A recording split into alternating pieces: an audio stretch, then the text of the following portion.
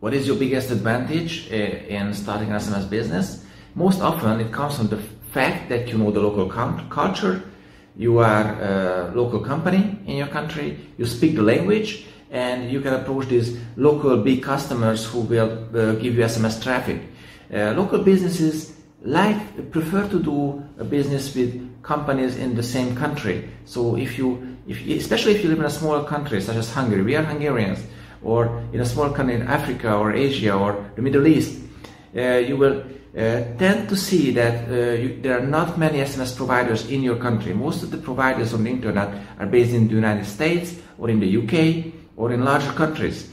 And it's a big advantage because uh, you can uh, connect to the mobile network and you can sell the SMS services locally, uh, often for a better price than these companies sell it for. And the big customers will prefer to do business with you instead of a company uh, distant in the United States.